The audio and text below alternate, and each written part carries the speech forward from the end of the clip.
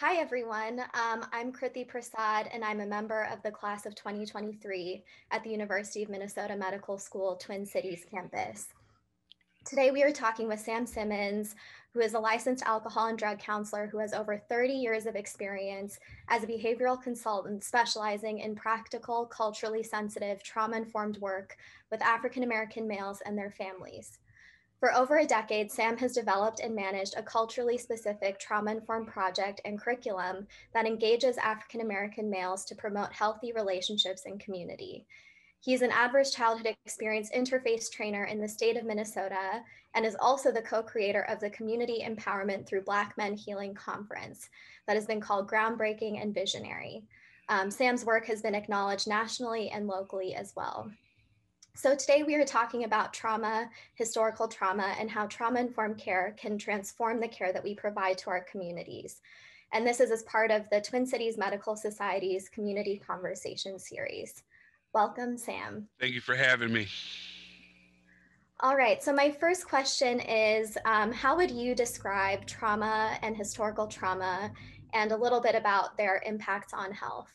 Well, um, when I when I think about trauma, um, I, I, I try to keep it simple. Something that in uh, something that uh, happens too long, too too too soon. Um, you know. Uh, that are that too too long too soon for a person to uh, metabolize and and handle in their lives right so or too early and and we see that you know like early childhood trauma we have a trauma that happens suddenly and those kind of things and the reason i like to think about trauma from that standpoint is that everybody's not affected by traumatic events the same right? And and you know because in doing this trauma work every now and then i would get somebody to say well you know bad things happen to me and i turned out fine you know because people really um, um, have are really scared to talk about trauma, especially their own trauma, and they because a lot of people have been raised to believe that that's a weakness, right? And so we know that trauma f- affects people physically, uh, emotionally, psychologically, in many ways, and have and can disrupt a person's life unless they address it uh, it can disrupt a person's uh, life over a long period of time. We know that trauma, um, early trauma, a lot, a lot of early trauma, childhood trauma, uh, uh, is experienced in families and in in homes and those kind of things, and um, and and sometimes I don't think we take it as seriously. Um, I think in the medical field, we take it a little bit more seriously because instead of, you know, really talking about what we would say the word trauma, because I, I, always find that interesting. If you change the words, we can talk about it. Is when we got into ACEs, right? And then they did the ACE study in uh, 89, I believe, um, Dr. Felitti and Dr. Anda. And basically, the um, the study was really uh, because Dr. Felitti noted uh, some uh, behavioral changes in clients and um, and started really investigating because um, uh, it was certain groups of clients, I think, and and looking in their background and started noting that there were certain type of traumas that showed up uh, or family experiences um, in in their background, and then him and Dr. Anda got together, really did a, a, a, a probably about seventeen thousand surveys uh, to uh, see if there was some consistency. Uh, they narrowed that survey down to ten questions, which was looking at you know family dysfunction, looking at uh, the different kind of physical and emotional and uh, psychological kind of traumas that happen to folks early before the ages of 18 and how does that affect medical outcomes later on in, in an individual's health or how that their response to that trauma over their years can affect their health outcomes. And and so, you know, they narrowed it down to 10 questions. And like I said, some of them had to do with family dysfunction like alcoholism, domestic violence, uh, somebody, you know, a family member going to jail, uh, separation and divorce. And so that ACEs was revolutionary because it really made, uh, in a way, folks taking seriously childhood trauma, right? Which was in for in my in my belief as being a man of color, um, I've always thought about childhood trauma. It's like, why do you have to have a study to realize if you mistreat children, you go you've got a possibility to end up with screw up adults, right? It took it took this survey, and I think, and and you know, in my belief, and I could be off, is the fact that it was, uh, you know, 75% white individuals because I don't know what's wrong with my throat today. Because it, uh, it was white individuals. Because every time we usually talk about trauma, it usually didn't include the population that was surveyed, middle class, uh, uh education, and that kind of stuff. And, and again, that negative piece around addressing something that happens to people, right? Bad things happen to everybody right? Uh, uh, little bad things happen to everybody. And, when we say little bad, we talk about the little T's, right? And little T's sometimes is more important to the individual than the big T's sometimes because they're like really personal, right? And so I think the ACEs, even though I find it you know, a little insulting that we had to have that to realize how about mistreating children was important for folks to take a, a, a look at how that affects the medical system. And I think that was the big piece is we can prevent a lot of medical issues in our system if we quit traumatizing our children, right? Um, because you get trauma, you get traumatized, then you're going to find a way to cope or adapt to the trauma, and that could be both negative or positive. And and the negative is usually like you know we think about smoking, uh, eating, uh, uh, um, sexual behavior. All of that is a res- can be a response to trying to f- deal with that the effects of the trauma. So um, and then let me see. So so they're connected and so when we talk about historical trauma, uh, which is new, you know, which is shouldn't be, but it's really talking about the collective effect on a group of people, historical collective effect of a, of group of people being traumatized as a group, right? And we got Dr. Uh, Braveheart, who really took a look at that in the Native American community, uh, uh, we got uh, Joy DeGruy, who took a look at it. Uh, she called it post-traumatic slave syndrome in the Black community, um, and those, and really taking really taking the inner look of if we are truly human beings, when a lot of times we haven't been treated that way in the the larger community, human beings hurt right? And and if you deal with trauma, there's got to be some kind of uh, effect about that, and we shouldn't run away from that effect if we want to heal. Thank you. Um, a follow-up question I have um, is in line with what you're talking about with historical trauma and is touches on your work kind of in the community in Minneapolis. Um, how do you um, on an individual level kind of help people understand and move through their trauma in practice. And that could be you know the individual kinds of aces um, that you mentioned or kind of historical trauma and these community-based traumas that um, you know people have experienced in their families for generations.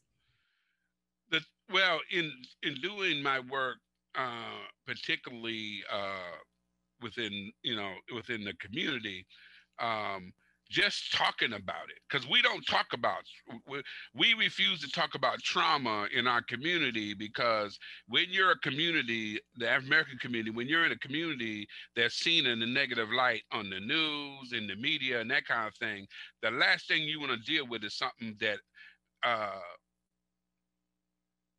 that appears to put you in a negative light, like talking about the trauma. And my thing is, is I I frame it around stories, right? Um, and so I talked to them about ACEs. I remember when I first got trained in ACEs, they were real reluctant to talk about ACEs with clients because they didn't want the clients to feel bad, right? And I found that if you present it to them in a real down a realistic kind of way and put stories that relate to them, they appreciate it because they internally know that there's something going on with them. But because they can't address it, or because they only get um, when people respond to it is always in a punitive way or negative way, um, um, they think they're, you know, sometimes they, as they say, I feel crazy, right? And then, you know, when we talk about uh, ACEs and childhood trauma and and how abnormal that is, and and then you put you put the other layer of racial oppression on top of it. Unfortunately, in the Black community, one of our coping styles is is believing that being Black means you're supposed to suffer. And the more you can deal with suffering, the, the best you can show your strength and resiliency, right? And so so that's another way to block up that block out that conversation. But i've had clients who say now oh okay something happened to me right? Uh, i'm not crazy. Now the now the, the response to their trauma the problem is, the response to their trauma it, it becomes negative and then people will uh, uh, really respond to their response to the trauma you know uh, if there's domestic violence. But the, the other piece is is we look at systematically our response to people of color black people in particular is always punitive and if you always respond to a behavior that other people do, but in this particular group of people is always punitive, what that does is make our larger society believe that there's something really especially wrong with those folks compared to other folks, right? It's like letting uh, uh, uh, little white kids go to juvie court and that's and a, a, black kid does the same crime, they got to go do it automatically adult court. It's like, ooh, ooh, they're they're they're so flawed, right? And all they're doing is responding to the trauma that they have been experiencing. And when we talk about the African American community, especially the African American community who has slavery, American slavery in their background, we're talking about over 400 years of trauma that we haven't been able to slow down and respond to. Uh, thank you, Sam. Uh, you talked a little bit about this element of um, re-traumatization and, you know, how do these narratives get reinforced? Um, and, you know, I want to go into that a little bit more about how those narratives get reinforced within the healthcare system. Um, so, you know, trauma informed care has uh, well been discussed outside of medicine, you know, in social work and mental health, um, even in the field of psychiatry, but it hasn't really made its way into kind of mainstream healthcare. Um, how do you envision um, trauma informed care um, becoming kind of a mainstay throughout the medical system and what would that look like well the thing is is in parts of the medical system they they are familiar with the term trauma informed care um, um, you know and and and i and they've been you know i think they're familiar with the technical terms and technical aspects you know you know, being more aware of people's trauma and how that might affect them medically and all the other kind of stuff. Uh, the two biggest flaws in that whole thing, because again, the idea is understanding that everybody who comes in your space bring their own trauma, and and and then you should take that in consideration when you are dealing with them, right? Um, but what we don't do enough about is, uh, yeah, everybody agreeing that everybody come in your space uh, brings their own trauma, but every space has its own trauma too, right? The people in that space.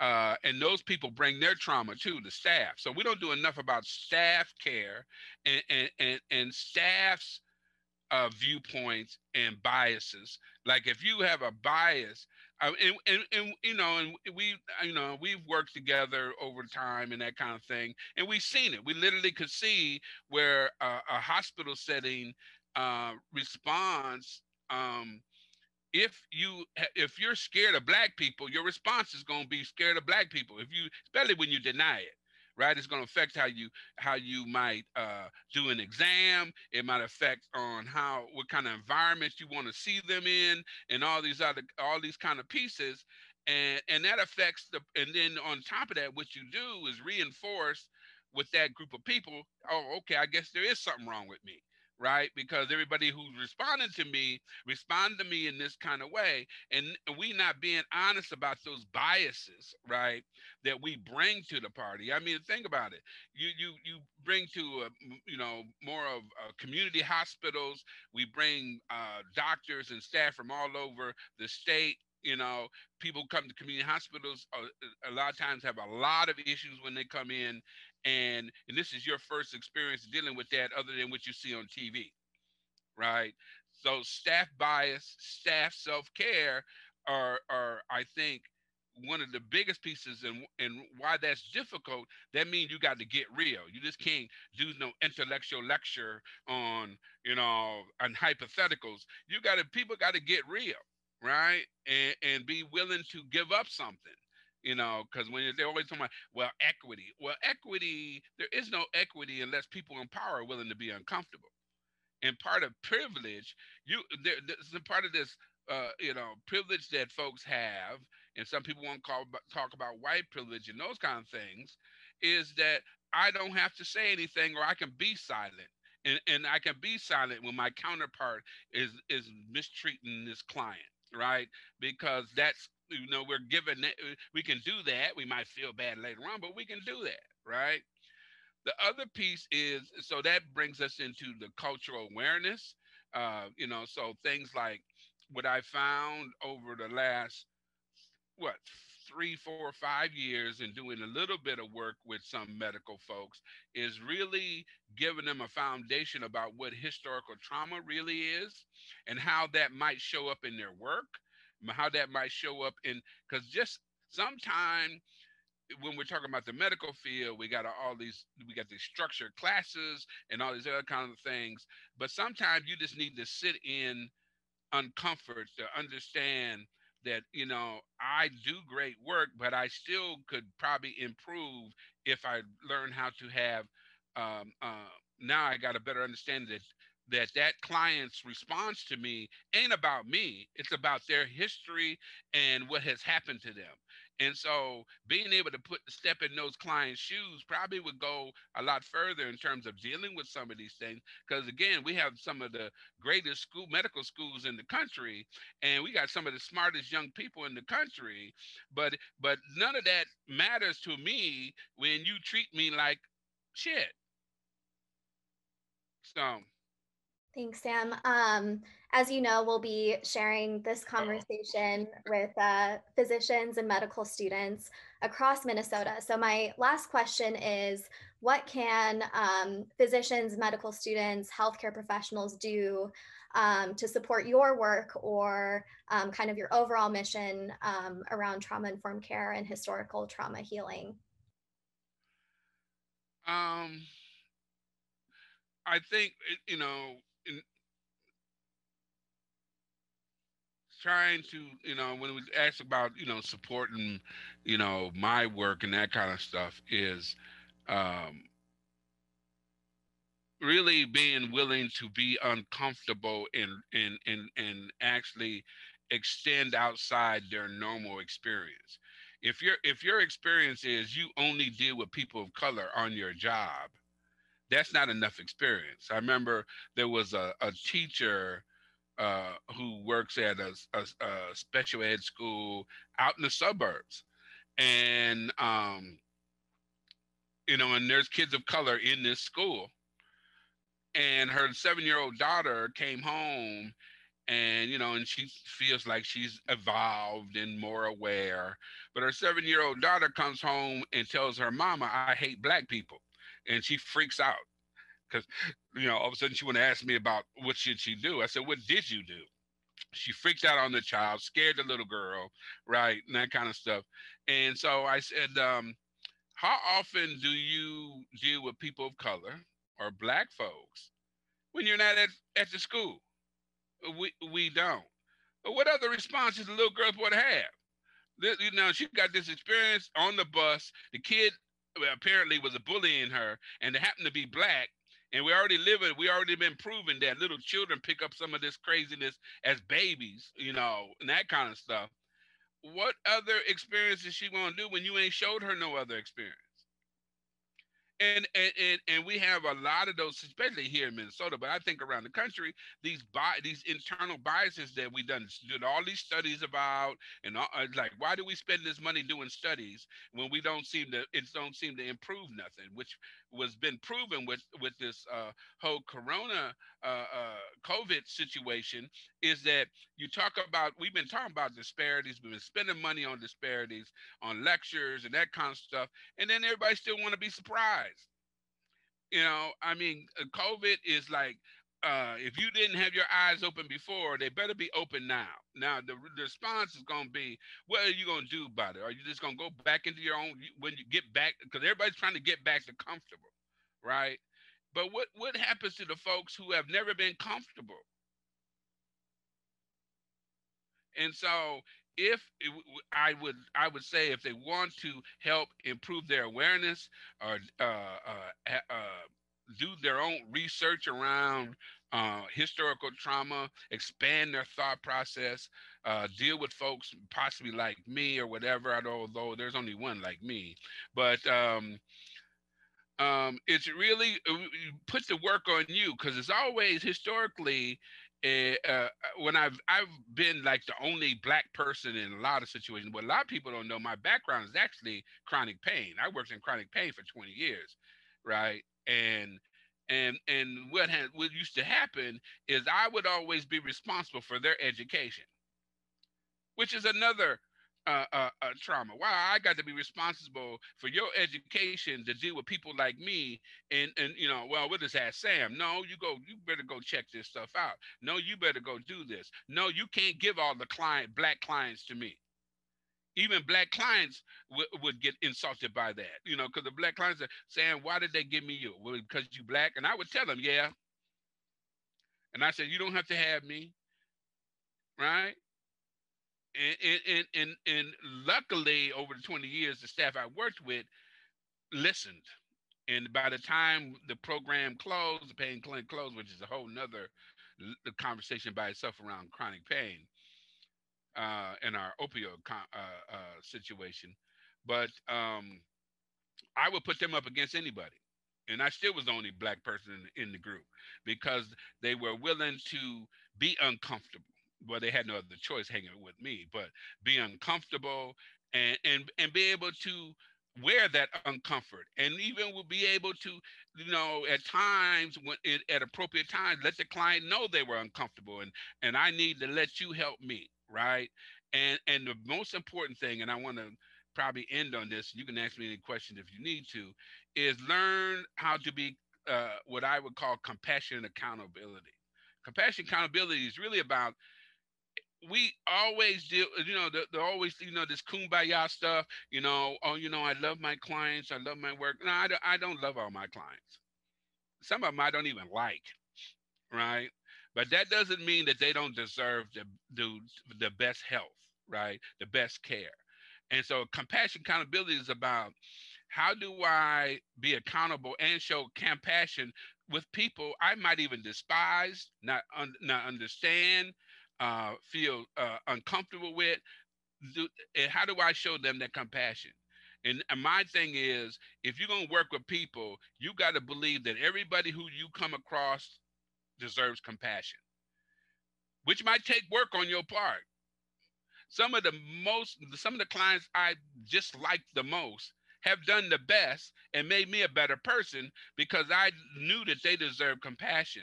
Because accountability without compassion is never fair. And then compassion without accountability, where you just let them not have no accountability, don't do you or the client no good, and will get you into uh, being wishy-washy because you'll get mad at them because you did all these great things for them and they didn't say thank you. That was the most well, you know, the client didn't say thank you. Okay, well, what's that all about, right?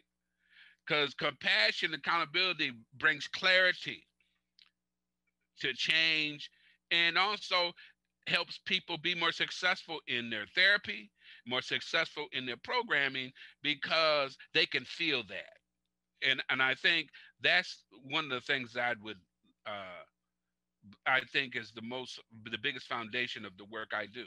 Thanks, Sam. Um, as you know, I always love our conversations, and um, this element of compassionate accountability is something that um, I've thought a lot about um, with my future practice. Um, so, thank you so much, and I think we'll end our conversation here. Well, well, thank you for having me. You know, it's always a it's always a pleasure.